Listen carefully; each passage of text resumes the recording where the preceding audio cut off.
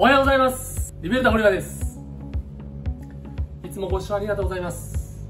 今日は即席バーニャカウダで作るヤングコーンのオーブン焼きいきたいと思います。これでもうね下準備 OK です。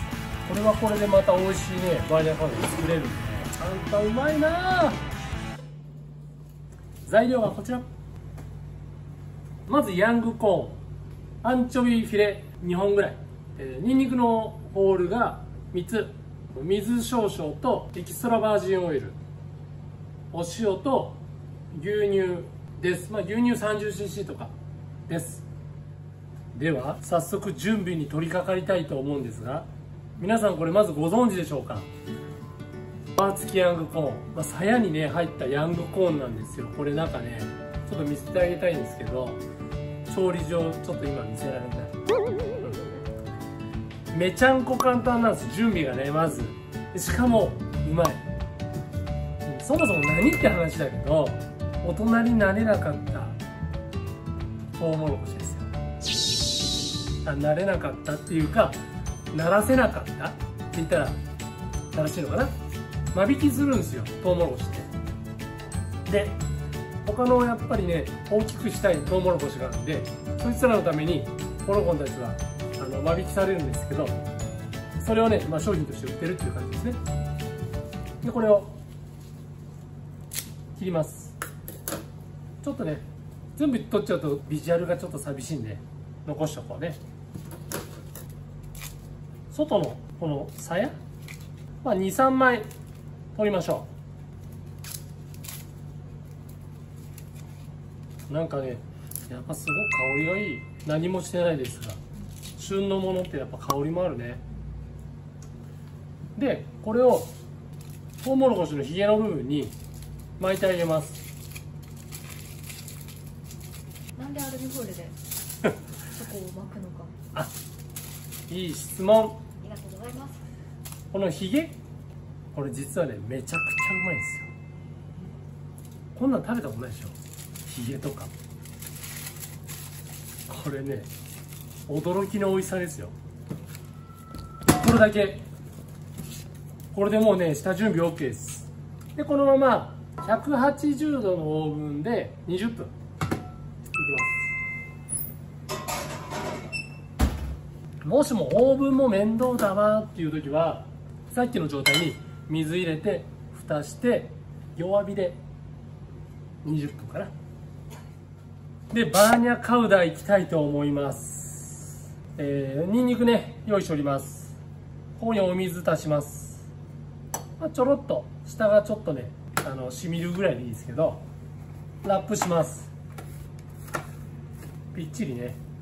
でこの状態でだいたいオーブンであごめんなさい。電子レンジで4分です。で4分チンするとでこんな感じになります。火が入ってること。確認してください。柔らかくなりますからね。すごく。でまずにんにく入れますよね。火にかけます。まあ中火ぐらいかな。アンチョビ2本。オリーブオイルをね約 30cc ぐらい。このぐらいかな。この状態で潰します。まずはね粗く潰してってください。ちょっと弱火だね。弱火にしてこのらい。細かくなったらさらに細かくするためにホイッパーで叩きながら。ち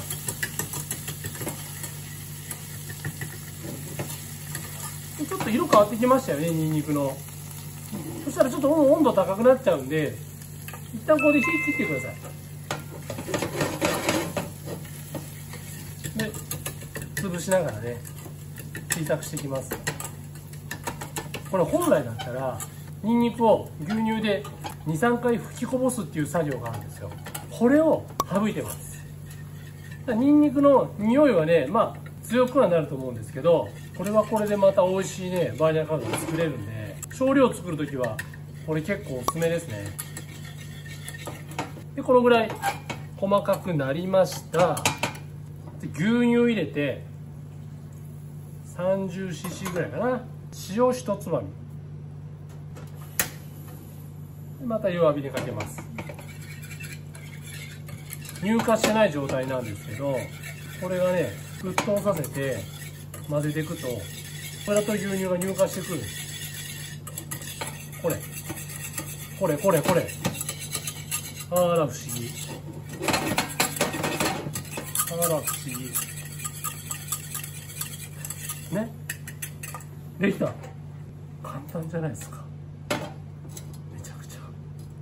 一瞬でできちゃった。アンチョビの香りとニンニクの香りか結構インパクトのあるバーニャカーダできました。これ熱々がやっぱ美味しいです。なんでまあこれ余っちゃったりして冷蔵庫に保存します。でまた食べたい時は電子レンジかなんかでチンしてもらって残った冷蔵庫のさ残ったきゅうりとかペロッとつけて食べたらめちゃくちゃうまいと思うあそうですよいいオープンわおつつつつ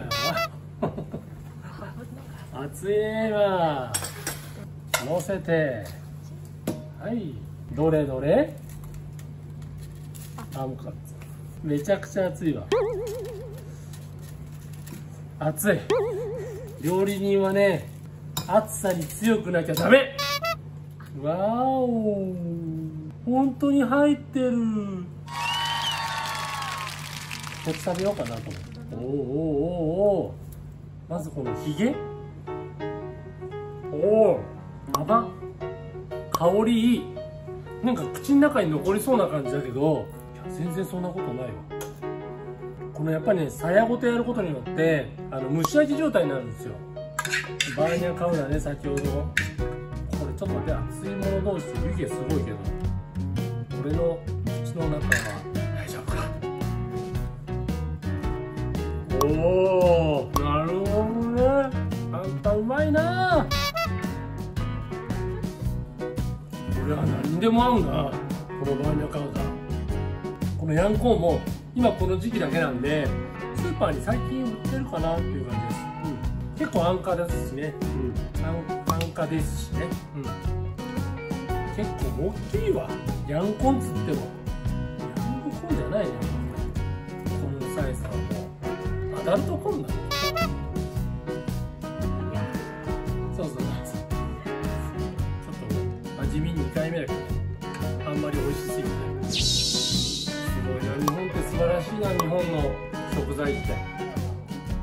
なんか改めてそう感じるお料理。でした参考になりましたらいいね。いいねください。